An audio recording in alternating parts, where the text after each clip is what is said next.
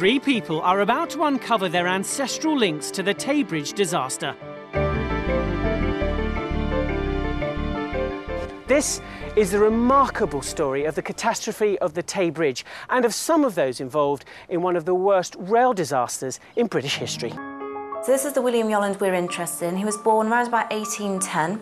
Have you heard of this relative of yours? Do you know um, anything about him? The person I'm really interested in is your great-great-grandfather, Thomas, Thomas Bouch. Yeah. He's particularly famous. Do you know anything about him?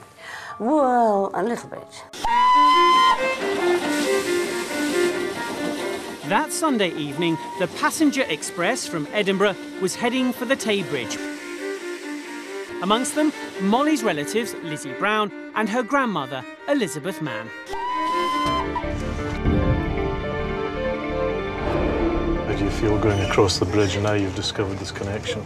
It feels completely different. It's like, it's kind of scarier, but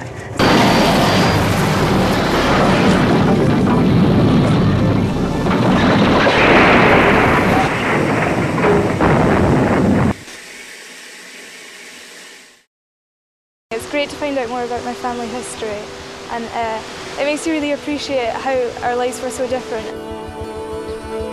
I'm very pleased I've done it for my ancestor because I felt that he probably had been misjudged. I'm really proud of uh, my ancestor and will remember him fondly when I use the trains in the future.